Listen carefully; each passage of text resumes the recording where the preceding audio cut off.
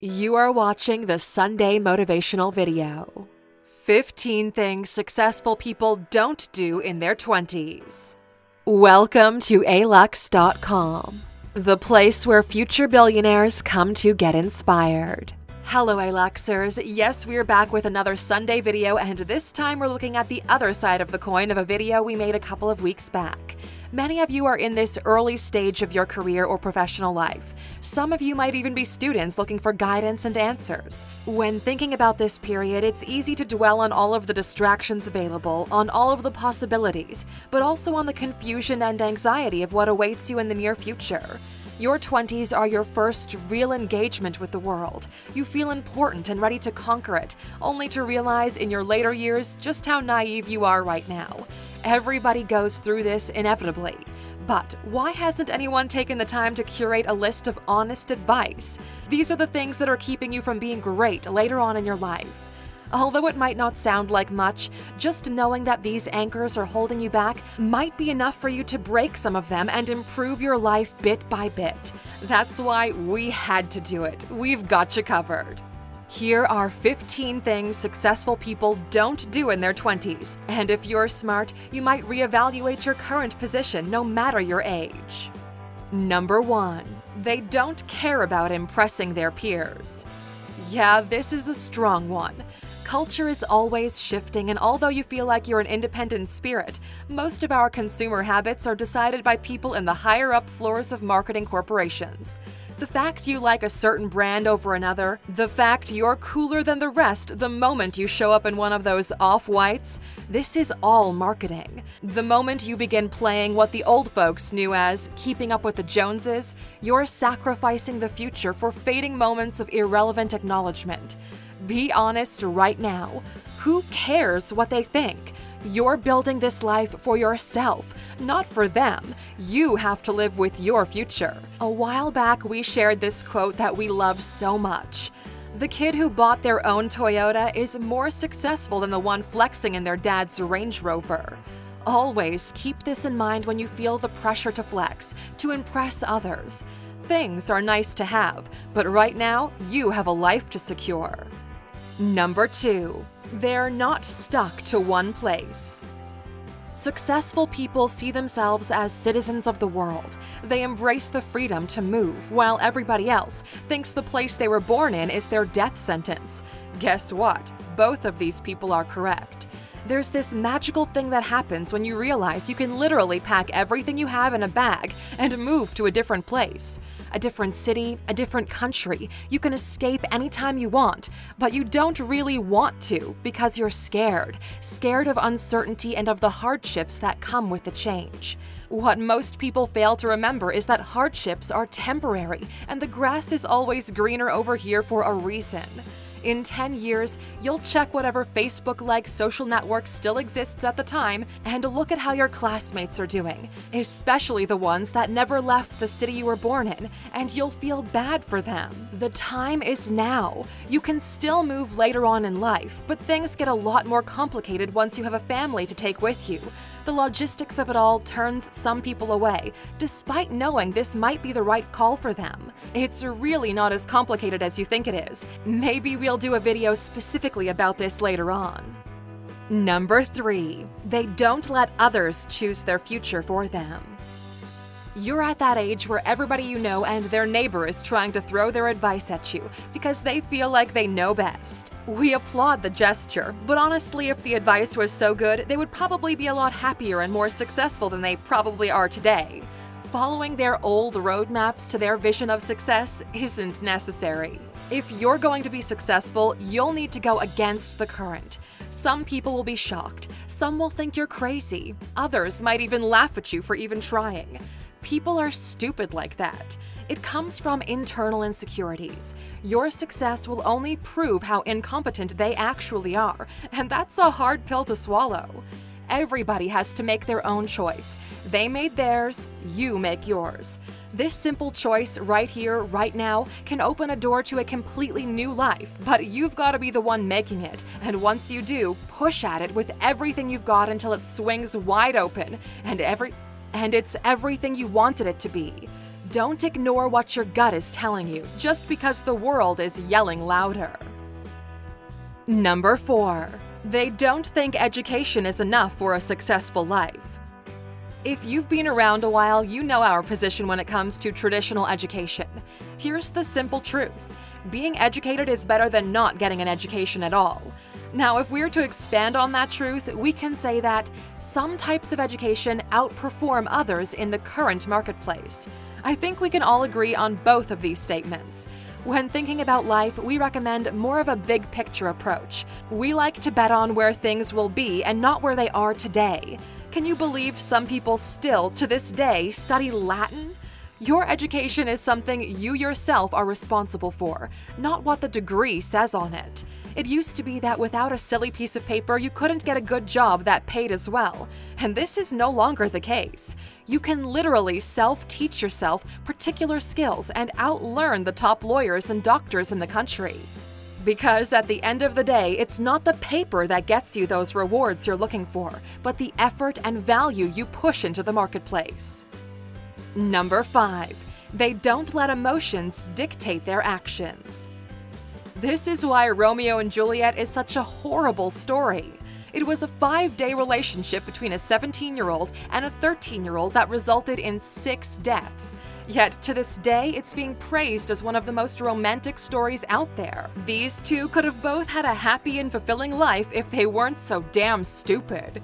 You might be thinking, but Alux, I'd never drink poison just to prove a point. But most people do. A lot more figuratively than literally, of course, but we're sure there are a few. Emotions are a great source of energy, of passion, the fuel that drives us to be better and do more. But like any fuel, when not used accordingly, it can result in fire. By the way, the Amazon rainforest has been on fire for weeks now, and the incompetent president of Brazil is still trying to hide it and minimize the PR damage without taking action. I know we got sidetracked there, but hey, it's a great example of when emotions, like what do people think of me, are driving the narrative instead of what's the correct course of action. If you want to be successful in life, like actually be a person who's valuable enough to be an inspiration to others, you can't allow emotions like pride, fear, or anger to take charge. This is a very sensitive topic because traditional education has done nothing to address emotional intelligence. You didn't learn anything about how to put order in the chaos of your life, did you? We more or less had to figure it out and piece it together ourselves. And that's how our premium experience, Mind Mastery, came to be. 21 days where you learn a valuable new skill that will stick with you for the rest of your life and finally get you developing your EQ. You can check it out by going to alux.com slash mindmastery and join the hundreds of people who are leveraging it for their own personal growth. Number 6. They don't spend all their income. Oh look, for the first time in your life you have some disposable income. Feels great, right? Now asking the real questions. What are you gonna do with it? We know people who, despite earning a lot of money, at the end of each month, they still hit zero. Why? Because they love spending, despite being disappointed with their purchases. They constantly eat out, and most of the time complaining about just how bad the food is at certain places. They care about what other people think, so they get a new handbag, the latest iPhone, despite having the most recent one before it. Poor people stay poor because they act like they're rich. Rich people stay rich by acting like they're poor.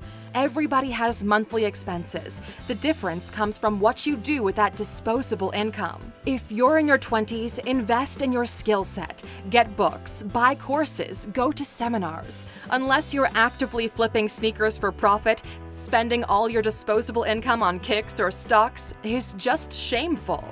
Number 7. They're not impatient. This is getting increasingly harder since we're getting more and more used to faster delivery speeds. From internet speed to food delivery, even to getting laid, they've all undergone massive surges in speed. We've become more and more impatient. Everybody needs that hit of endorphins when you post something on social media. If those likes don't start coming in, you feel anxious, your heart rate increases. You start to question if maybe there's something wrong with you. That's the world taking control of you instead of it being the other way around. Successful people know good things take time, that they'll require consistent effort for prolonged periods, but not the average person. That's why you see everybody going for the easy win, for the get rich quick scheme. That's why the most popular searches for money online is how to get rich fast, how to make more money easy, and so on. This is where reality conflicts with your previous superficial experiences, because solid things don't just happen overnight. Number 8. They don't hang out with losers. Most people don't realize the impact your entourage has on you. If you hang out with sick people, it's just a matter of time until you get sick. That's how it works, and it's the same in life. If you hang out with losers, you end up becoming one. We know many of you struggle with this because everybody wants better friends but end up settling for what's available around you. This is because you're not really a person of value yet. Successful people don't want to spend their time with you because until now you've been surrounded by losers and they associate you with that group. Unless this group of friends you're already in is focused on growth and challenging each other for progress, your best option is to maintain a friendly relationship, but be a lone wolf on the side while your personal value increases. In that time, you'll understand their limitations and it will get easier to relate to people who are going through the same thing as you are. We build friendships based on common goals. When you were young, your goal was to have fun. Now your priorities are changing. Number 9. They're not hoping for a miracle solution to all of their problems. If your financial life plan is to win the lottery or miraculously get a huge inheritance, well, we can't be friends. You always hear these people talk about how they're gonna score it big.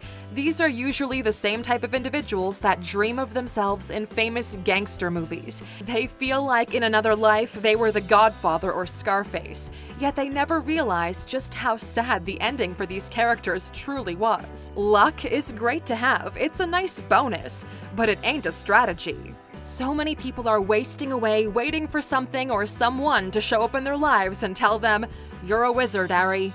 But the fat guy never comes. So what do they do? They live as Dursleys their entire lives. This isn't fiction, but what you live is a true life story, so you might as well live it in a way that's worth following along. Number 10. They don't underestimate the importance of planning and setting goals. One of the most valuable things a person can do is set proper goals in life. We've been doing this for years and are shocked at how well it's worked out for us. Upon further research, almost every successful person we know sets their yearly goals in a different way than you've been accustomed to. We taught some of our more skeptical friends our own framework for goal setting, and they were surprised at how well it all worked. It's not enough to wish for things. Everyone out there has dreams, but setting goals is more about planning on how to make success a reality than simply putting it out into the universe and hoping it somehow materializes. Mediocre people laugh when you tell them about your goals, and that's what keeps them where they are. They always think, why waste my time wishing for something when I know it won't come true? Because that's the only thing they do. They wish for it. The people who are constantly hitting their goals do more than that. It takes discipline, strategy, and proper planning. You have to leverage resources and craft a course of action. When two generals go to war, both of them plan for victory. Otherwise, you wouldn't go to war. The general whose plan is closer to reality is the one who wins. After the success our community has seen with Mind Mastery, we're considering sharing a different approach to goal setting that's allowed us to hit our goals year after year. Another premium experience for those of you who understand the value of leveraging this type of framework for personal gain. We don't have a launch date just yet, as we're still optimizing the curriculum for maximum results. It's gonna be the only thing you'll ever need to master your goals. If you want to be updated when this course goes live, go to alux.com slash goals and join the waiting list. Number 11. They don't obsess about finding their soulmate. Being in a relationship shouldn't define you. You're more than that. Yet many people agonize over being in a relationship or fulfilling their parents' fantasy of getting married by a particular age.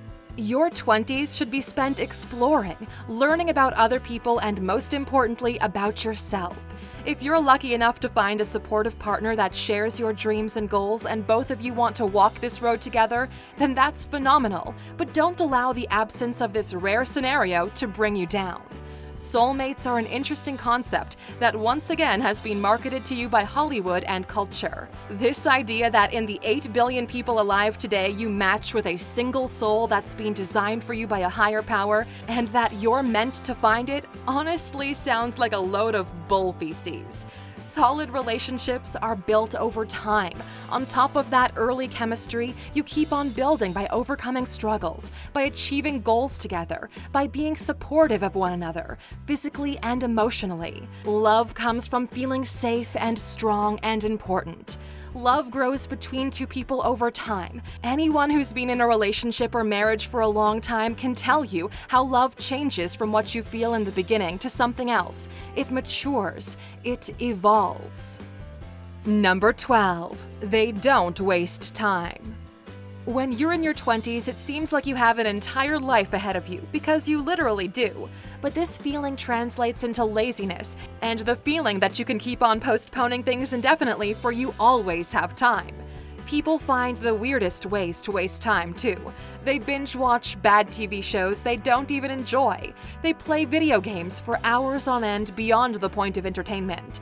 They do it because there isn't anything better to do, in the same way others simply watch time go by. Successful individuals leverage this period to get ahead. It's in your 20s when the losers get left behind. In the blink of an eye, you find yourself turning 30, and most of your former mates have shared the same fate as you because birds of a feather stick together. Because birds of a feather flock together. But there's that one person who's way ahead of you that you're particularly jealous of. How in the world did that happen? All of a sudden, this person is in a fulfilling relationship, has a successful business, is in top shape, and exploring the world, while you're sitting in the exact same bedroom you were in 10 years ago with maybe a different set of sheets on the bed. If used correctly, the period between 25 and 30 can completely shift the direction your life is taken for the better. Don't let this opportunity slide by. Number 13. They're not arrogant. There's nothing worse than an arrogant 20 something year old. Why? Because all of the achievements you've had in your life are superficial and fake. Nobody cares about your participation trophies, about being second favorite at prom, about the time you got so wasted it was legendary. Stop it. In the words of Kendrick, be humble, sit down. What they're actually trying to portray is confidence, but because of the lack of EQ, it comes off badly in the shape of arrogance. That's why you always hear them bragging and humble bragging. By this point, you didn't have enough time to prove your skill set, so your best bet is to put your head down and focus on getting things done. There's nothing that builds more trust than saying, I don't have sufficient information to give an educated answer, but I'll look into it and get back to you.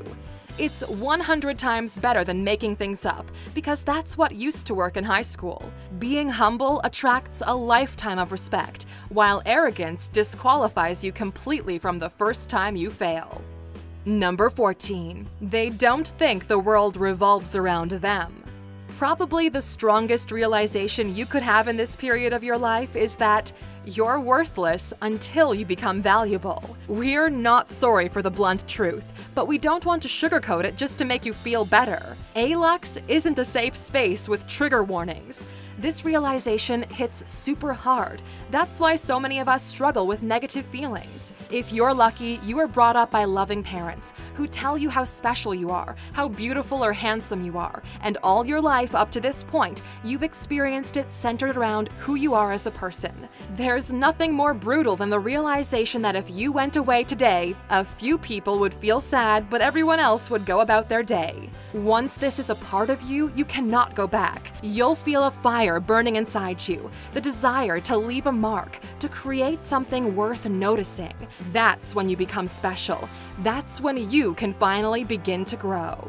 Number 15. They don't give up when things get hard.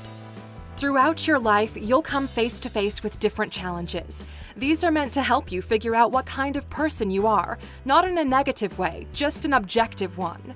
You probably know some folks that always try something different, but the moment things get difficult, they throw in the towel. They do this with businesses, with relationships, with personal goals. They're quitters. Real recognizes real.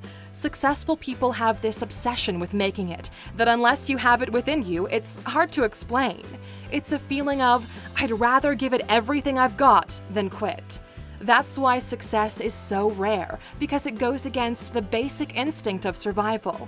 I'd rather be safe than push myself to a point where I don't know what happens. Not everyone who's pushing makes it to the other side, but those who do get to enjoy what everyone else only dreams of. Just pay attention to how people are behaving, and you will see these traits in them. We're curious to know which of these are holding back your inner circle. We have a large enough audience so that your answer can shine some light on this epidemic of mediocrity. Leave your answer in the comments, and maybe other people will wake up once they identify themselves with it. Also, as a thank you for watching this already long video until the very end, we have a special bonus piece of info. Number 16. Don't be envious, be inspired. We constantly feel like life is a competition, but everyone is running their own race. You're not competing against each other, you're competing with poverty and mediocrity. If you see someone doing really well for themselves, stop with the hate and face yourself in the mirror. If they were able to do it, then if you work hard, you might do the same. Don't look up to false idols, to those who got lucky, to those who were born with success. Instead, look to those who grind it themselves, who despite all odds made it. These are your heroes. These are the people you should look up to. Just because someone got their win doesn't mean you can't get yours. Get it through your head. Success isn't a limited amount. Success is a measurement of how much of your potential you achieve. Take a moment to sit on that until you're confident and fully understand it. Then go to the comments and write the word success as proof you're a true A-Luxer and got some extra value everyone else missed because they didn't watch until the end of the video. You should feel proud for choosing to invest in yourself today. We want to congratulate you on that choice, and we can't wait to hear how this video has shifted your future. Thank you for spending some time with us, A-Luxers. Make sure to subscribe so you never miss another video. We also handpicked these videos for you to watch next. As always, the conversation continues on social media. Thanks again, and we can't wait to have you back tomorrow.